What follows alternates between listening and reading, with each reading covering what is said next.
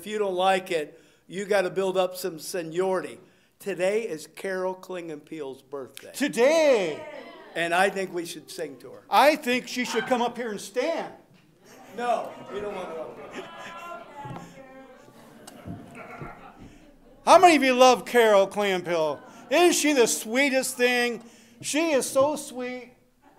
Have a seat. She's sitting down. Have a seat. We'll sing to her. She's tired. She wants to sit down. All right, for Carol.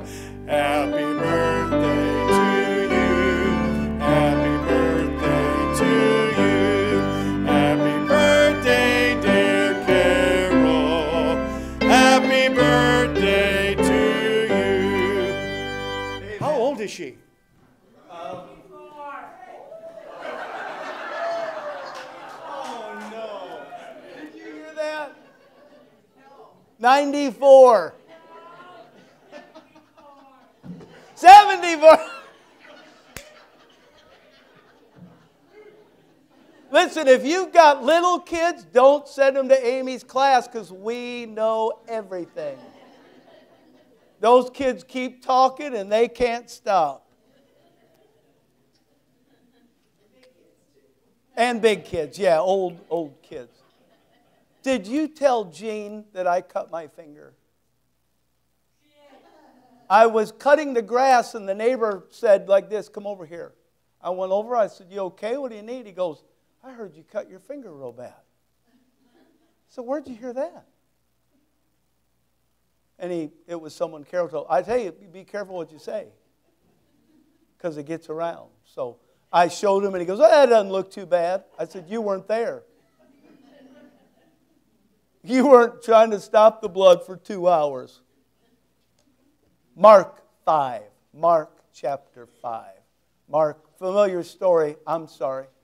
Um, I'm, I've run out of sermons, so I preached this one 48 years ago, I'm going to re-preach it. No, I've, I've never preached this, but I love this, this portion. Three Gospels, Matthew, Mark, and Luke, deal with the story of the woman with the issue of blood, or whatever you want to call it. She had a problem that no one could take care of, and she finally decides, as you'll read, I hope, with me, that if she could just touch Jesus, she, I love, man, I think this story is great. I, I, I think that we so underestimate God. If I was God and you underestimated me like we underestimate Him, I'd be mad. You've done this. Someone needs help. They didn't call you. You know what you said? Why didn't you call me? Right? They were hurting, they were stuck, they were this, they were that. And you said, What? You know, why didn't you call me? Going to be worse with God if we underestimate what He can do. If we're living on a lower level when we could be, watch me now, if we could be living on a higher level, but we can't do it without Him. We can only do it with Him. And I think if we underestimate what He can do, He's going to be upset. This story, I, I don't know why. I, you know what? I, I know why. It's the Holy Spirit. And maybe you don't like that spooky talk, but I believe in the Holy Spirit. And I really try. I mean, I'm so bad at it that I have to work extra hard to let the Holy Spirit control my life. And this whole thing about praying every day, I am pleading that the fruit of the Spirit will be present in my life. And I'm just trying to listen to the Holy Spirit. And I, I've got, you know, and it's the great thing is when you get my age, I'm much younger than Carol, but when you get my age, it's not an issue of what to preach, it's an issue of which one to preach. And so God really laid this on maybe, maybe, and again, maybe He did it just for me. I'm, I'm part of the church. Are I not? You say, well, it didn't speak to me. Well, maybe it spoke to somebody else. Maybe it spoke to me. Mark chapter 5. Let's start, can we? Verse 25.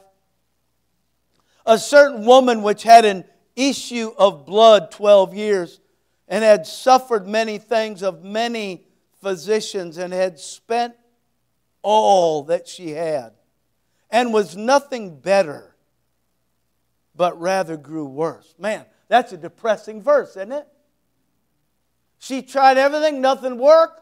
She's getting worse. Now what? Verse 26. I'm sorry. Verse 27. And when she had heard,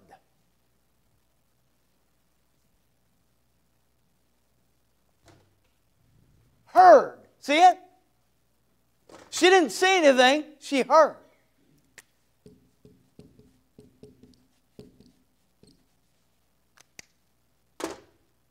She heard. The, a lady came over there. I don't know if we were with someone.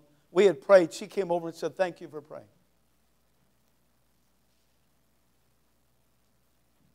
Was it me? Was that us?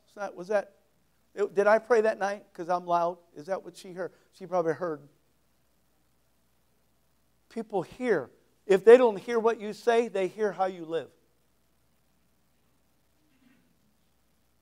I think it's unique that when she tried everything else, she went to them, she spent her money, now she hears about Jesus. When I got saved, I, he, I didn't see him. He didn't touch me. He didn't grab me. I just read the scriptures. Faith cometh by hearing, hearing by the word of God. It says, look at it, verse 27 when she had heard of Jesus, came in the press behind and touched his garment. I'm not impressed. What? What? See, it says press. You know what that means? Everybody's pressed up against each other. It's crowded. So here's what we know she wasn't the only one that touched him. But she's the only one that touched him with a purpose. Some of you go to church, I go to church, I don't get anything out of it because you don't have a purpose in it. So you're like that crowd, just going along with the crowd, and you're pressing on Jesus, and oh, Jesus is there, but you're not getting anything out of it because you don't have a purpose. She needed help. She had tried everything. She's broke. I know what broke is, and when you're broke, you're broken. You're depressed many times. You're in despair. You feel hopeless. Now what? Says she came and touched him from behind. Verse 29, I love this. Uh, oh, no, verse 28. And she said, for she said, If I may touch but his clothes, I shall be whole. Don't you think every doctor's visit she thought that? Don't you think every time they said, Give me money, we'll fix you? We'll give you this, we'll try that. Don't you think every time that she went, she had hope? Boy, not like now. Because why? She heard. See, it makes a difference what you listen to. This world is depressing. Huh? I, I'm, I'm about, I, rattle your cage. I don't care about your cage. I love Trump. I love him. I love him. I just don't know why everybody hates him, but nobody will give me a good reason. He's doing good. He's done more for the Christian than any other president. Got it. John chapter 3, verse 19 through 21. Men love darkness. I mean, we're just seeing that play out. I was going to explain that to some people. I had people say to me, um, um, hey, that statistic you gave about the mayor of South Bend and crime going up 40% when he came out as, as a homosexual. I said, that wasn't a coincidence. God's, God's in charge. God, God, righteousness exalteth a nation. But sin is a reproach to any people. She, we got to finish this story. She said, verse 28, if I may touch but his clothes. Not me. I want him to touch me. Hey, come on, come on. I want him to pray over me. Right? I want him to anoint me with oil. Touch his clothes, I'll be whole. What kind of wacky religion is that? It worked. Didn't it?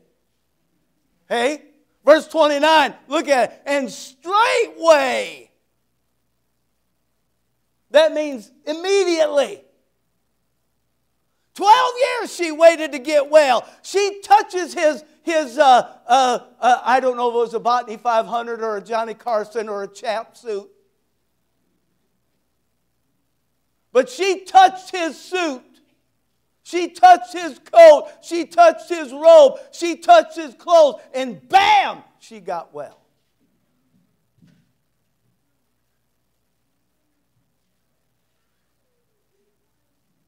Anybody watching them kids? Maybe they escaped. Thank you, Lynn. They escaped. Maybe the if my wife's down there, she might be tied up or something.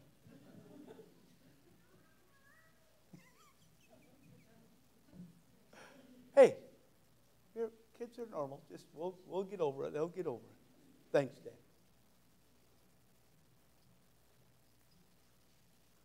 Straightway the fountain, verse 29, straightway the fountain of her blood was dried up. She felt in her body that she was healed of that plague. And Jesus, watch this, verse 30. Jesus immediately knowing in himself that virtue had gone out of him, turned him about in the press and said, Who touched my clothes? Who touched my clothes? Verse 31. As I would say, his disciples said, Thou seest the multitude thronging thee, and sayest thou, Who touched me? He looked round about. Amy's brother Scott, Amy's oldest sister's Vicky, then Scott, then Amy's in the middle. He lives uh, in Maryland, by, does a lot of work in Baltimore. He does grass, man but sod, not marijuana. He lays sod. And when he lays sod, he does golf courses. He did the uh, uh, uh, Washington, D.C., where the main mall is. He did that. So we're not talking a pickup truck load, we're talking semis. He does medians down there. It's against the law in Maryland to have dirt because it'll wash. So everything. That's why he probably went in the sod business. Smart man. So he lays sod like you won't believe. But he drives, and he, he I, I know he made, he left a job. He was working on the space shuttle in California and left there to go to Maryland to get into this. So I know he's making money. Anyways, he drives this old junky van. And Scott and I were always in car, into cars. And when I would date Amy, I had that old 1960 red convertible. I'd come over and I'd go, Amy, ready? He'd go, No, let's go for a ride. So we'd jump in the convertible and tool around, and, and we'd get back, and and I'd say, Would you check if Amy's ready? And he'd say, She's not ready. He would. And he'd say, Let's wax it. So then we'd wax it. Anyway, so he's got this old junky van. This is Piney Creek, the name he lives on Piney Creek in Maryland. You could see uh, Gettysburg, the battlefield, from his, his window. He lives up on the hill. And, anyways, he's got his old, and the name of his company is Piney Creek Sod. He's got his old junky van. I go, Scott, that van just driving me nuts. He goes in Baltimore, they don't honk horns, they bump you. When it's time to go, they don't blow, it's quiet. But you feel the jar because they bump you. He said, I'm not going to drive a nice vehicle because they bump you. And he said, You're so close together, when they hit you, you hit the car in front of you. And it's just a big chain reaction, and everybody's used to it. I said, You got to be kidding me. Hey, that's kind of the logic here. The disciples are saying, What? Wait, we're all crowded. What, what do you mean? Who? Who bumped me? God said, You don't get out and go, accident. You, they'll run you over if you try to get out and don't go. He said, They'll bump you. He said, People have gotten out and they keep bumping them. Don't move to Baltimore. Verse 32, he looked round about to see her that had done this thing. But the woman, fearing, verse 33, the woman, fearing and trembling, knowing what was done in her, came and fell down before him and told him all the truth. And said, He said unto her, Daughter, not you touching me made you whole. He said, Thy faith. Thy faith hath made thee whole. Go in peace. Be whole of thy plague. You, I'm not done, but I need to pray. Father, speak to us. Use these moments. Help us to concentrate on nothing but you. And Holy Spirit, help us to hear nothing but you. I, of course, need help. Help me. Fill me. In Jesus' name I pray. Amen. She tried everything, did she not? Everything. She tried, watch now, watch. She tried everything but Jesus. Every, 12 years. She tried everything, went everywhere, spent her money. Now she makes her way through this crowd. There are people all over. She touches him because she believed that if she touched him, she believed because she heard, she believed if she touched him, she'd be well.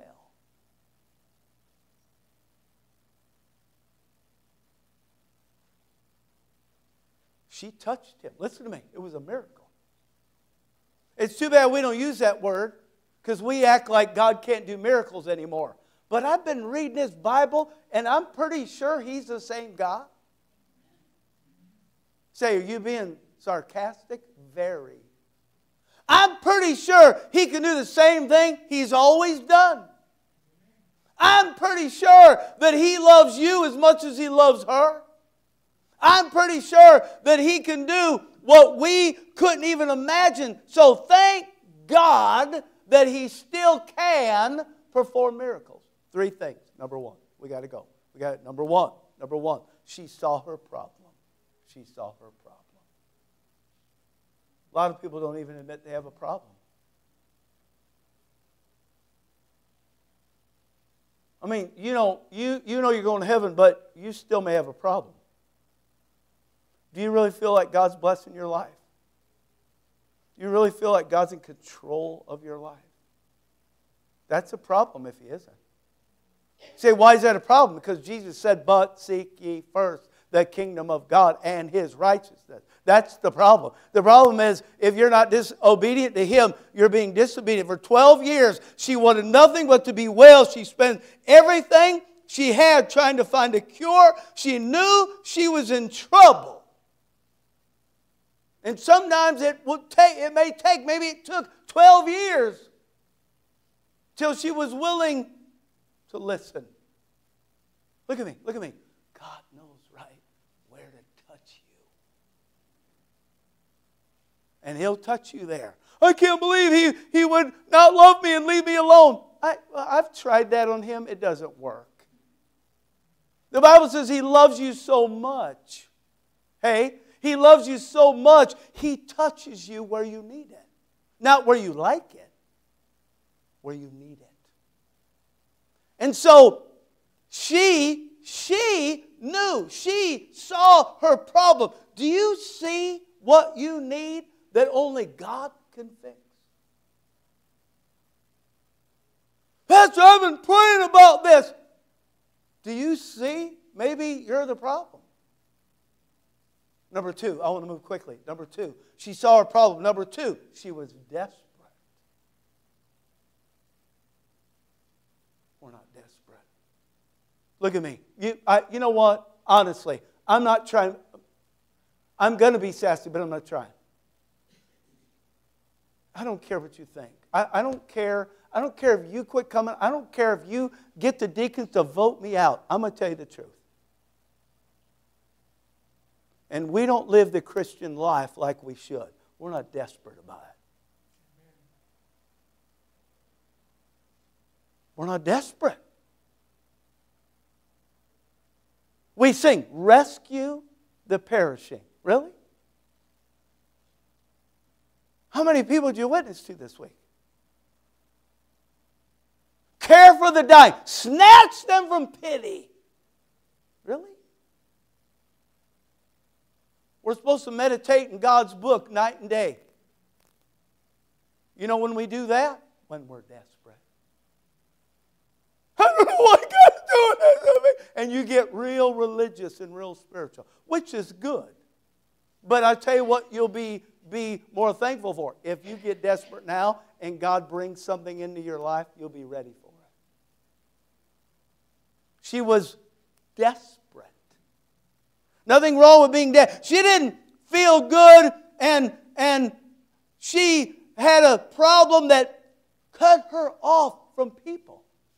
She couldn't go to the temple. You know how it is when you're sick. When a guy's sick, end of the world. Right, women? End of the world. Gets a cold, I'm dying. And we think we'll never get well. We're well most of the time, but boy, let that sickness come in. God is judging. Really? She's isolated, she's broke. But she sees her problem. She knew she needed a miracle. She thought about it and thought about it and thought about it and finally does something about it. She had to get to God. She had to believe that God could fix her. I'm still praying through Psalm 34. One of my lists when I pray in the morning is right from Psalm 34. And a couple of verses in that chapter go like this Psalm 34 and verse 6 says, This poor man cried, and the Lord heard him and saved him out of all his troubles. You know the problem with that verse? Doesn't say how long you're supposed to cry. See, we're used to going, I cried, God, and God says, keep on. So, man, I'm just crying over that verse, Psalm 34, verse 8. It says, Oh, taste and see that the Lord is good. The rest of that verse says, Blessed is the man that trusteth in him. Psalm 34, verse 17, the righteous cry, and the Lord heareth and delivereth them out of all their troubles. Verse 18, Psalm 34, the Lord is nigh close. He's nigh unto them that are of a broken heart, and saveth such as be of a contrite spirit. She saw her problem. She was desperate. Number three, she went to Jesus, or she knew what to do. She knew where to go. I just call it, she went to Jesus.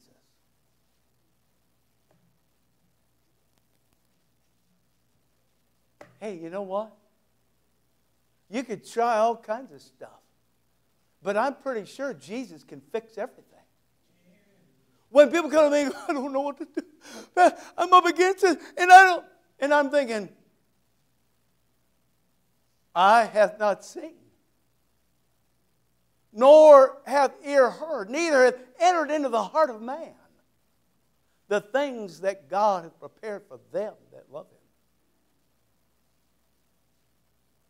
Jeremiah said, Call unto me and I'll answer thee and show thee great mighty things which thou knowest not. We don't know anything about this woman. We don't know what she believed. We didn't know what she didn't believe. We didn't know how she was morally. But we do know one thing about her. She heard about Jesus. She heard what he could do. So she finds him, she goes to him, and she touches him. Who can't do that? Who can't do that? She didn't stay at home. Woe is me. She didn't make a list of pros and cons. Should I see him? Should I not see him? Should I trust him? Should I not trust him? Man, she heard, listen to me. If you and I are going to see the Lord do miraculous things in our lives, we have to get to Him. Now, watch me, I'm through. Think about this. She didn't want to talk to Him. Wouldn't you want to talk to Jesus? Would you pray that He would take two minutes to talk to you? You know what she said? I just want to touch Him. I know if I touch Him, He'll make me well. You know what amazes me? She got it in her head. Watch this, this is so cool. She got it in her head that all she had to do was touch his clothes.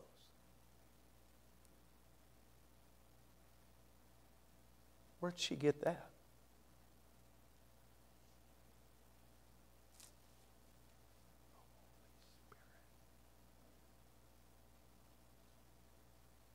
Who told her that?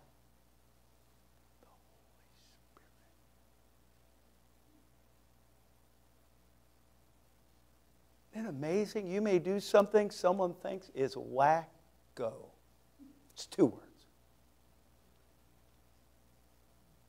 But you listen to the Holy Spirit. Who told her to touch his clothes?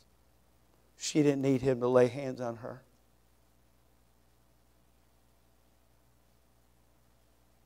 He didn't need to say anything to her. Hey, he didn't need to anoint her with oil or spit on her, as he did some so they could see, made clay, rubbed it in their eyes. Man, I would say, Lord, would you spit on me? Say, that's gross. Not if it's God spitting on you. Hey, not if it'll make you well. She just needed to touch his clothes. Listen to me. She just needed to touch his clothes. What faith. So she she heard if she could just touch his clothes and move on, she would be well. Isn't that exactly what happened? She said, if I touch him, he'll, he'll solve a problem nobody else can solve. All I got to do is touch him. And if I touch him in this crowd, I know that even though others, she knew, she saw it. She was bumping people left and right. When she touched his clothes, it says there, see the word? Straightway.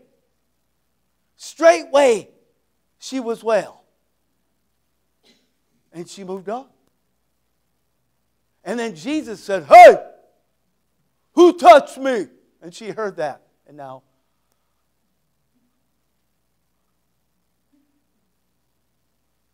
I mean, even the disciples said, What do you mean, who touched you? Everybody's bumping you. No, no, he said, no, no. See, a lot of us, watch me, watch me. A lot of us just want to bump Jesus. We just want to say, oh, yeah, I touched him. Yeah, but what happened to you after you touched him? Read my Bible, I don't get anything out of it. Maybe you're not touching him in faith. I get some out of it. It's not because I'm a preacher, it's because he's God. In fact, I'm one of the dumbest people I know. No amen. Just be quiet. Just listen. I'm one of the dumbest people I know. But I tell you what, when I open that book and the Holy Spirit of God's alive and He shows me something, I know it wasn't me.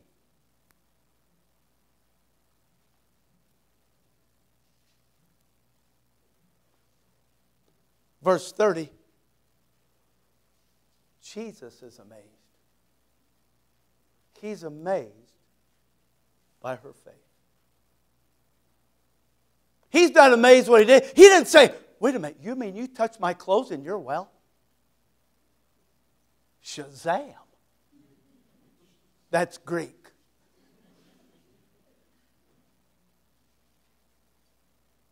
He said, Usually people don't touch me out of desperation and believe they'll be healed. Because he knew she touched him was well and moved on.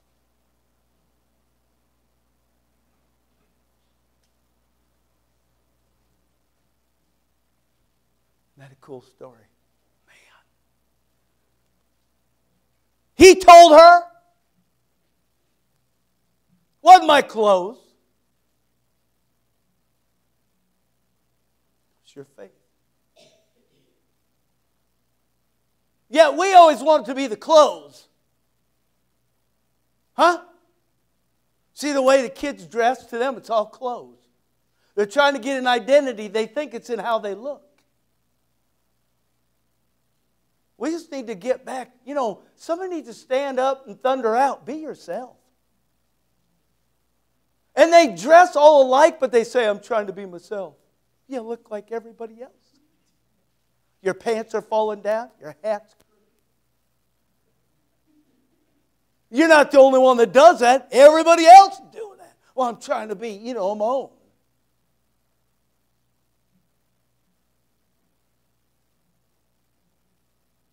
She touched him. He never touched her. That's faith. I tell you myself, I wouldn't settle for that. I'd tackle him. I'd shove him over and sit on him and say, slap me or something. She said, if I can just touch his clothes. Man, I want that kind of faith. I want that kind of faith where just believe that he can fix whatever I'm going through. Not his clothes, but him. It says, did you see it? She had heard, verse 27. She didn't hear about his clothes, she heard about him. The shroud of Turin. We think we found the shroud that wrapped Jesus in the tomb. No, you didn't. Be quiet. You're missing the point. He rose from the dead so we go to heaven. You're worried about the rag that were wrapped on him? Get a life.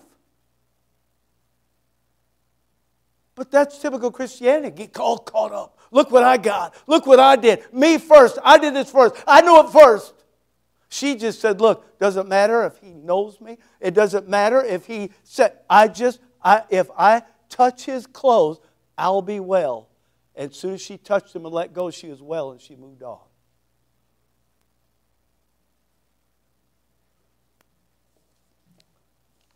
You come to this church. I'm going to make this personal and I'll stop. You come to this church and you can sing.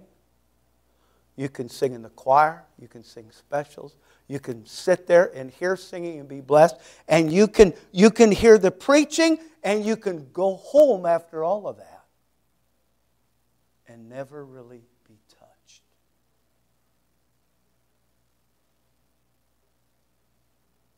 quit bumping into Jesus. Touch him in faith. Be desperate. Be desperate. I don't know what else to do. I know what you should do. Quit bumping into him. I live right.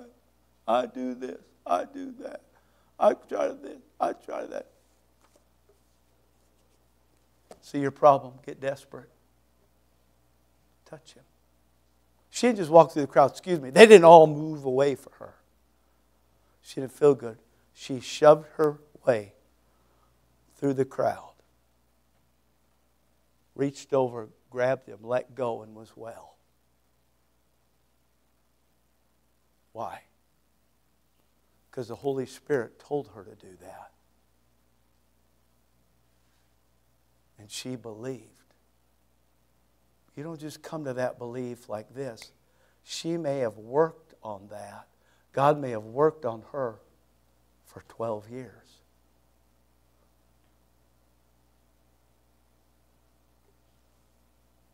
Why 12 years? Who cares?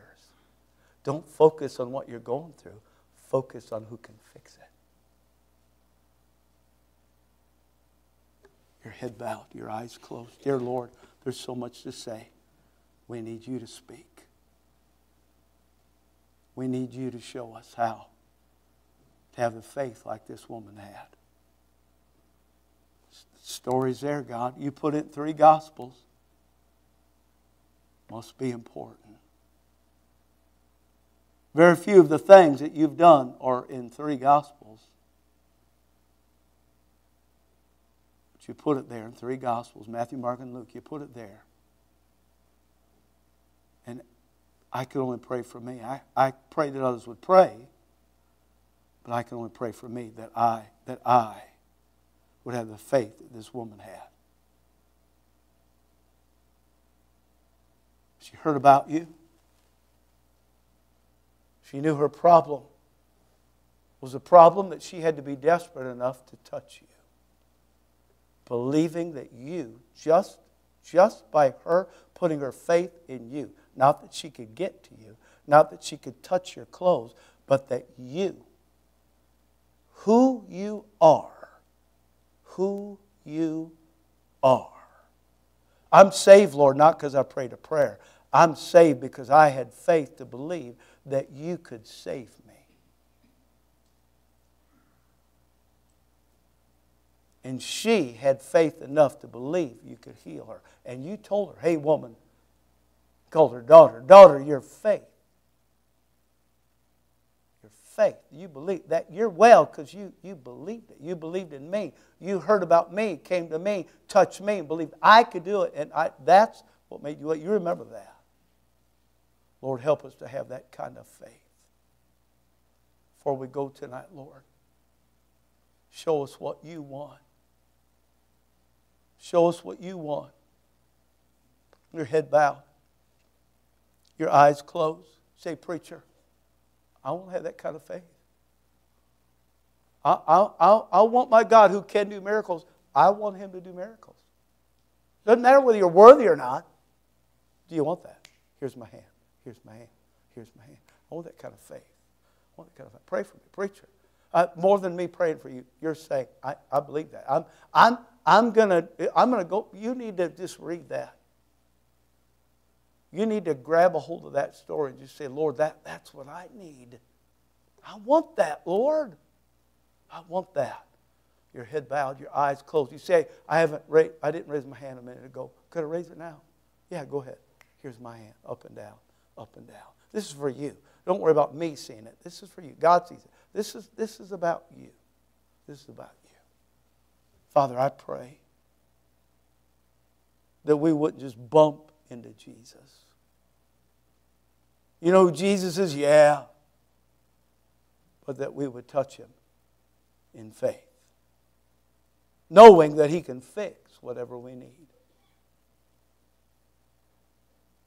Thank you, Lord. We love you. We praise you. Thank you, God. I pray this. In Jesus' name, amen.